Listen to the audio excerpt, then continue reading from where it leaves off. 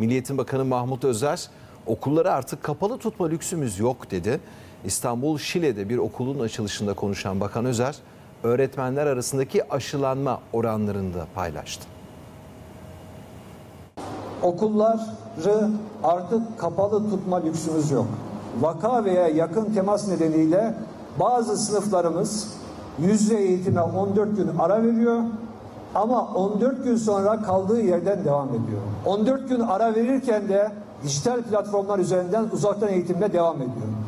Eğitim sisteminin açık ve yüzde eğitime devam etmesinin bu süreçte bir milli güvenlik meselesi olduğu yönündeki irademizin arkasında duruyoruz.